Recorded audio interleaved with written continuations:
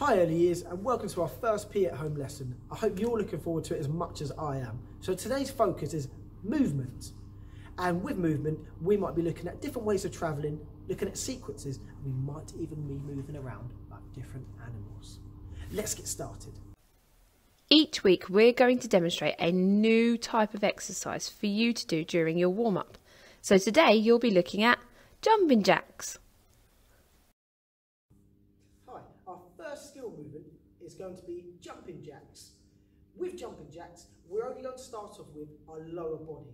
Now, if you look at my lower body, to start off with, you have to have your legs super straight, standing together. And then they're going to go into a outline. Now, what shape is, it looks a little bit like a a triangle, and then go back in, and then and back in, then back out, then back in. You might even challenge yourself to go a little bit faster.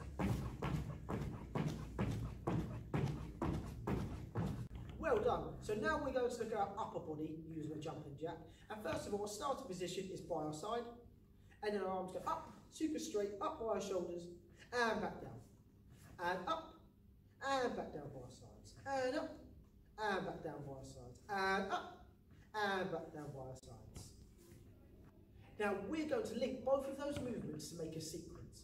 So first of all, my hands are by my side and my feet are straight together. And they're going up to make a star, and they're coming in almost like a soldier. Out like a star, in like a soldier. So it becomes one movement, out like a star, in like a soldier. Now I wonder if you can challenge yourself and go a little bit faster. Up, in,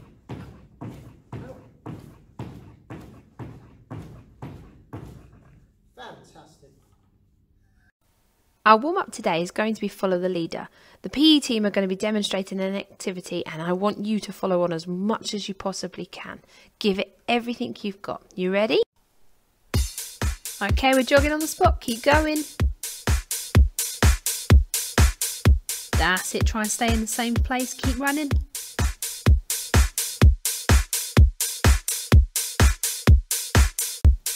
Get ready. We're going to be getting down to the ground and standing back up. You ready?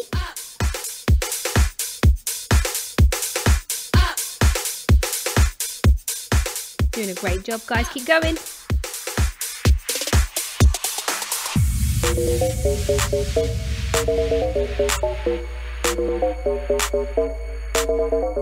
Okay, get ready for square jumps.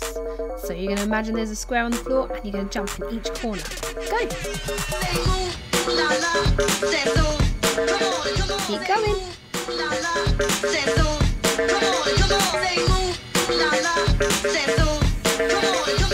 Coming up, it's the jumping jacks, the jumping jacks we practiced earlier. Go!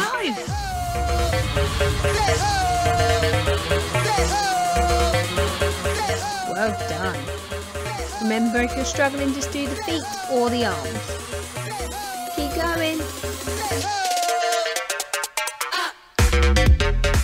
Mountain climbers are coming next. You're going to need to be on the floor. Get ready. We're running.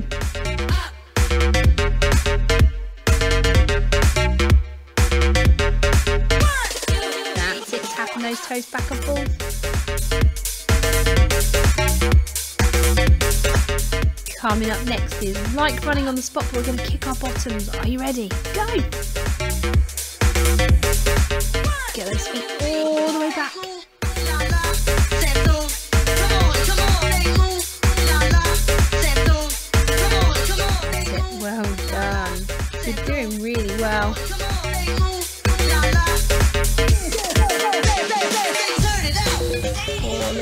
be on the floor, so get yourself on the floor, put your feet up in the air, and I want you to drop one foot at a time, leaving the other one where it is. And like Mr. Wall, keep your back flat on the floor.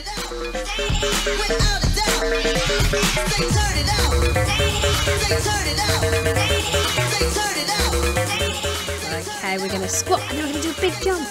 A big, big jump. Well done. Doing really well. Carry on. We're going to need to get on the floor next with Mr. Moore. Let's see what we've got coming up next. Oh, we're doing shoulder taps. So get yourself down on all fours and tap those shoulders one at a time. Well done. You're doing amazing. Not long left.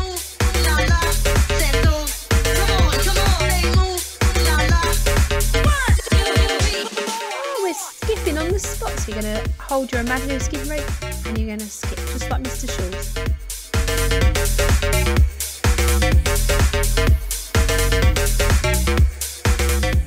One more to go and we're going to be back on the floor.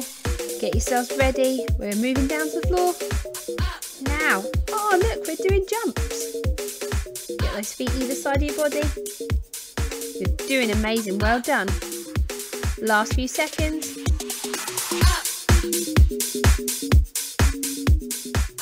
Great work, well done.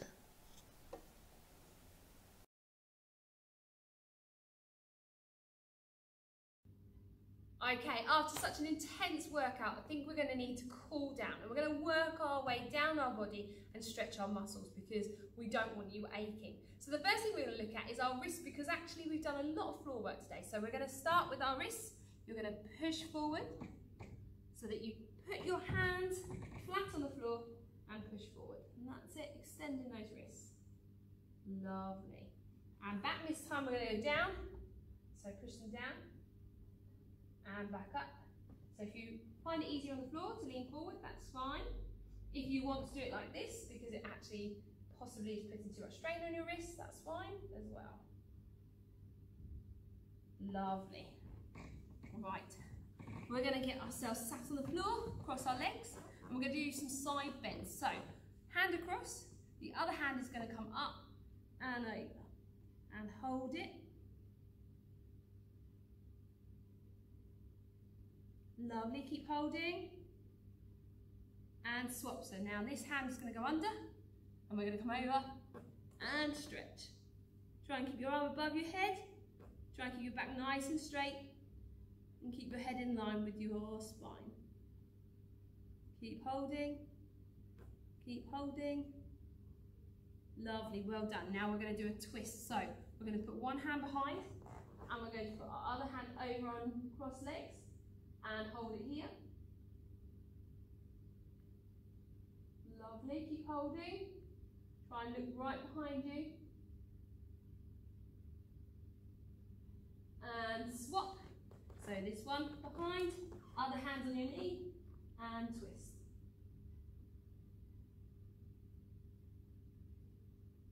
Lovely, well done. Keep going. Okay, fabulous. Right, we're going to go onto our knees. And from here, we're going to stretch out our spine. So we're going to put our back down. We're going to curl our back, holding it here. Then we're going to curl our back up. So we're going to bring our chin to our chest and hold it. And back down. Hold it here, try and look up as high as you can. And the reverse, bring your chin into your chest and pull up.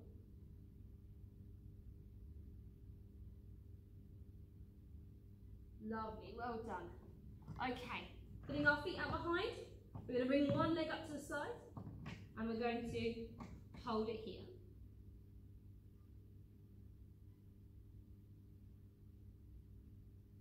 Hold it for a little bit longer. That's it, try and keep those legs straight. And swap, so the leg goes back out, swap the other leg. If you have your leg further forward, you might need to shuffle.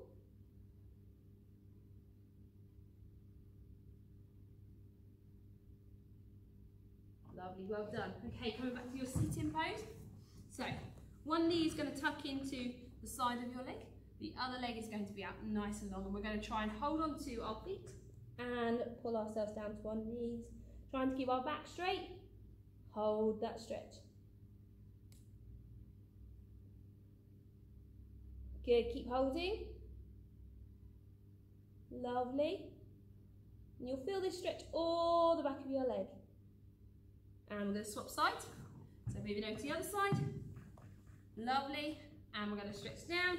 Hold your feet. That's great. You're doing so well, guys. And remember, this is going to help you tomorrow so you don't ache.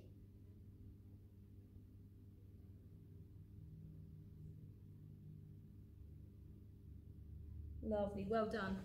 Okay. Feet out to the side And we're going to walk our hands forward, keeping our back nice and straight and lean in. And you should feel this stretch along the inside of your leg. Hold it here. Well done. Try and keep your toes up.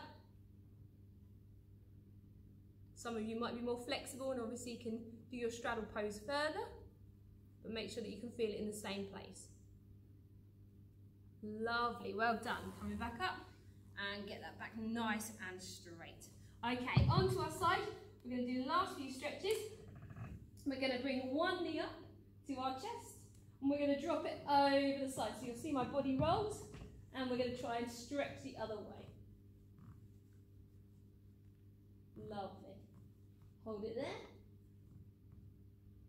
And return. Bring your arms back first. Bring your knee back and swap. So the other side, bring your knee up. Bring it over. And hold it there. And stretch the other way. Good. Hold it here. You can get your shoulders down to the floor. That would be much better.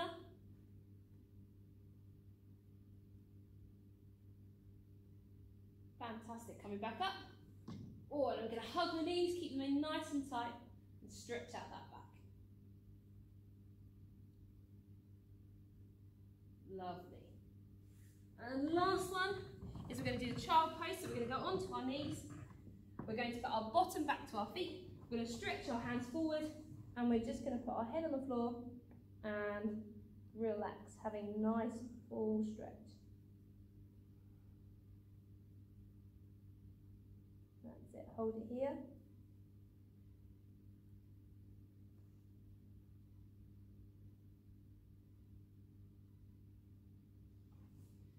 Brilliant.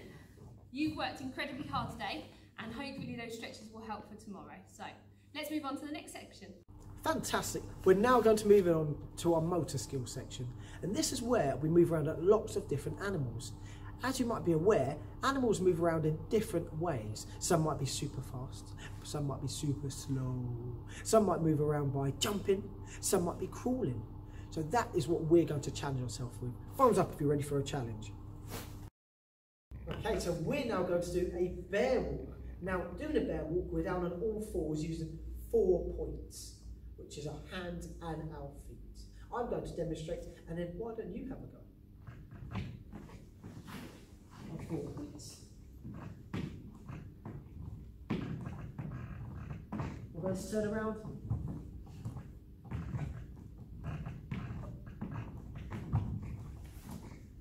Fantastic. Now, you might not have as much space as me, so you might want to go a little bit slower, but always look in front, look where you're going, and watch out for those around you. If you've got a little bit more space, you might be able to go a little bit faster. Enjoy. Bear walks. I wonder how many can you do in the next 10 seconds? Go!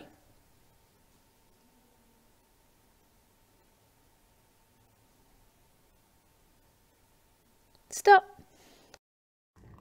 Penguin walks. So we're going to look at how a penguin would move. Well, thinking about it, a penguin only will walk on its two feet, so very much like us. However, he's going to have his flippers that are sticking out and his feet are turned out slightly and they waddle and they move around like they're waddling. I wonder if you can have a go. Should we try this? Keep waddling, moving like a penguin, get the head up high. Nice, keep going, keep going. Remember they're little movements. I wonder if you could have a little bit longer of trying this activity. Wow, let's see how far you can walk as a penguin. Ready? Go!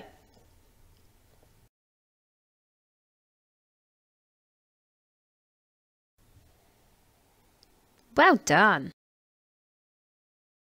The next movement is going to be a crab walk. Now, a crab walk is a little bit different to me and you. It walks only on its sides. So for this one, the key points are your belly has to be facing the ceiling, and you're going to be in all four points. That means you're going to be on your hands and your feet. So I'll quickly show you, and then we will walk, and then challenge yourself to have a go. So my belly's facing the ceiling, and I'm going sideways.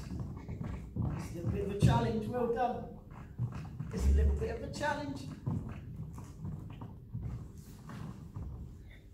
However, you are Newington winners. So if you find it a little bit difficult, take it nice and slow. Remember, you are a Newington winner And do we ever give up? No, we don't. Oh, crab walking looks pretty tricky. Do you think you guys can have a go? You ready? Go.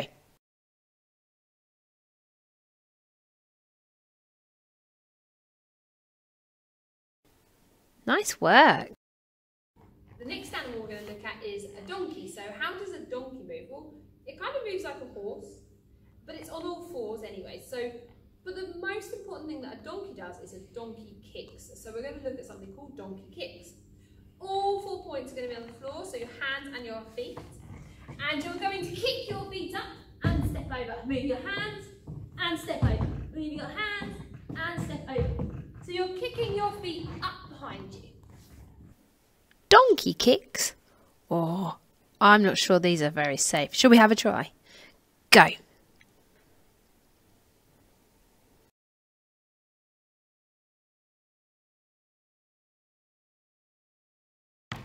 Now the next animal movement is going to be horse gallop.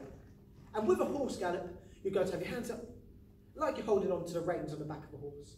You're going, I'm going to turn to the side and one foot's going to lead. So you're almost jumping over, pretend you're jumping over something. You can add a noise in if you would like. Yeah. Yeah.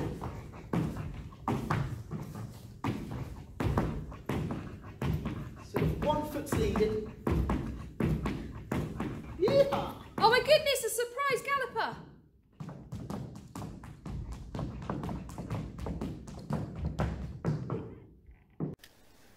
Horse galloping. Yes. Let's gallop around the room as quickly as we can. You ready?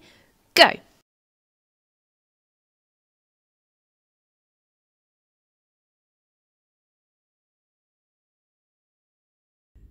The next one is caterpillar walk. So what you're going to do is you're going to slink up and down. So your body's going to come up and then it's going to slink back down again. So starting in what looks like a front support position or a plank, you're going to have your body out straight, walk your feet to your hands, walk your hands out forward. Walk your feet to your hands, walk out forward. And you'll notice my body is going up and down like a caterpillar. Good luck and have fun. Caterpillar walking. I wonder if you can slink up and down across the room. Let's see how many you can fit in this time. Let's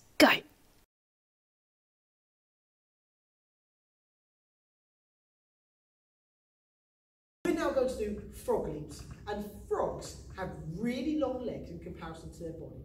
And it allows them to do really explosive jumps. I mean, they can jump really high. So I'm going to show you, I'm going to bend my knees. I'm going to touch the floor. And you're going to bounce really high using your legs. I'm going to go to the side. And you might even want to add noise. What, what noise does a frog make, I wonder? That's it. Ribbit, ribbit. So I bend my knees. I'm touching the ground. And I can see how high I can jump. Jump. Well done. And turn around. Jump. Jump. Another key point is when you're jumping and you bend your knees, try and land on the balls of your feet. So if you watch my feet, I'm jumping, I'm landing on my toes and then softly onto my heel. So ready? Like a frog. Oh, look, we found some really long legs. Ribbit. Ribbit. Frog leaping. Let's see, how high can you make your jump? Can you get as high as Mr. Moore?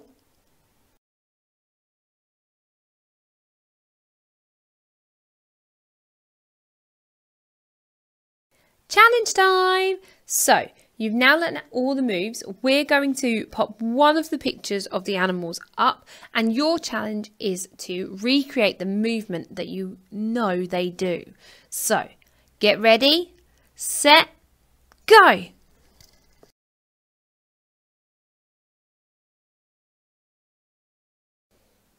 Did you get it right like Miss Darwish? Well done.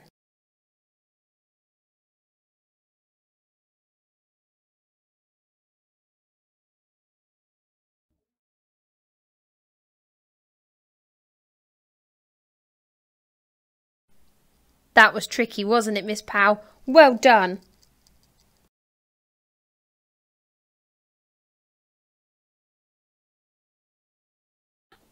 Phew!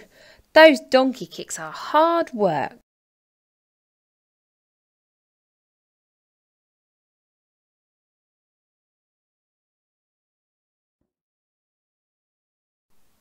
I hope you were jumping as high as Miss Hessie.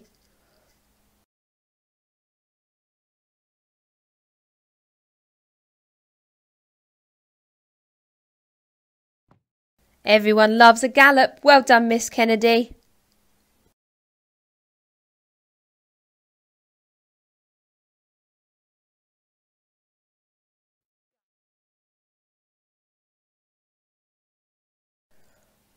Whoa, that bear walk was so good. Thanks, Miss Musselwhite.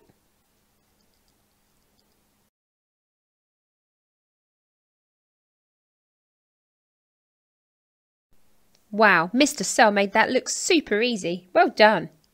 Well done, everyone. I hope you were just as good as my friends at school. Let's see, if you want to have another go, obviously you can rewind this and try again, but I'm pretty sure you guys did amazing, so well done. Brilliant stuff. Really proud of your involvement during episode one. Give yourself a huge round of applause. Absolutely amazing. Now, you have shown true grit, which is our core value for this term. And I wonder if you could be just as involved during episode two. Now, as an extra challenge, I wonder if you could think of another animal or your favourite animal. What different way does an animal move around? Hmm. That is your challenge. See you on episode two.